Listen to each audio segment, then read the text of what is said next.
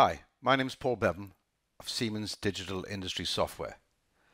And in this brief demonstration, I'd like to take you through some of the basic concepts for creating profiles in the brand new sketch tool found in the latest release of NX.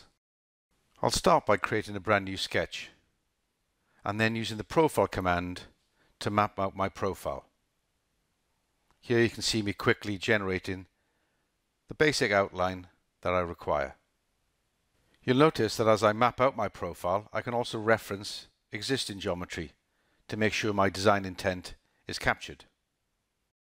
When completing my profile, NX graphically displays that I have an enclosed boundary by shading it. Now that my profile is complete, I can quickly start editing the geometry just by simply dragging curves within the profile. If I want a specific size, then I can add a dimension. On activating the dimension, you're now seeing some of the key concepts and power of the brand new sketch tool.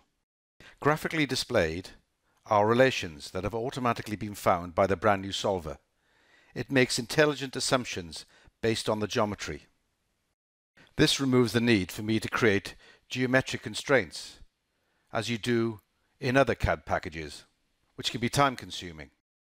This brand new solver just allows me to get on with the task of defining the profile I need.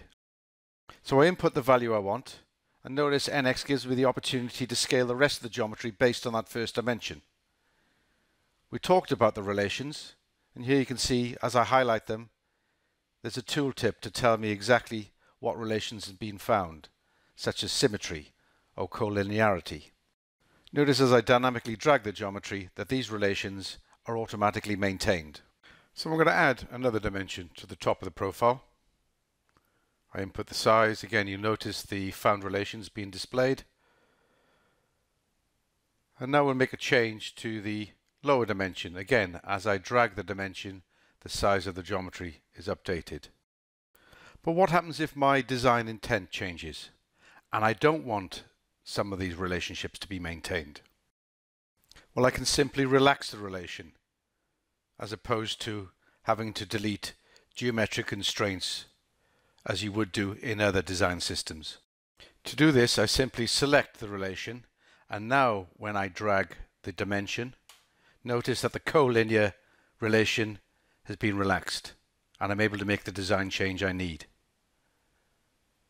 Similarly, the other end, I don't want that to be a vertical line. I relax the vertical relation and make the change I need. So let's add some further geometry to our sketch.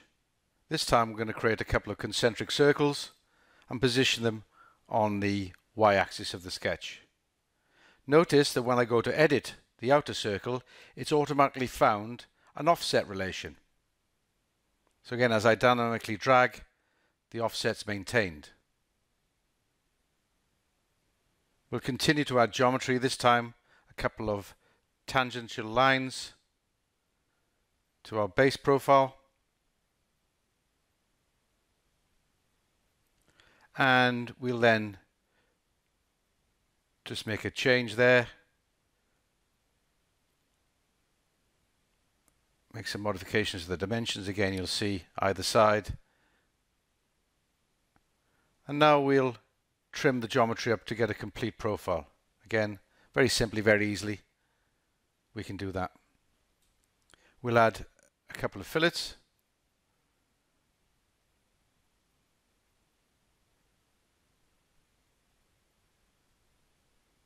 And again we'll just make a modification. Change the dimension either end again. I'll continue to define our profile by adding a further dimension to control the height of that diameter.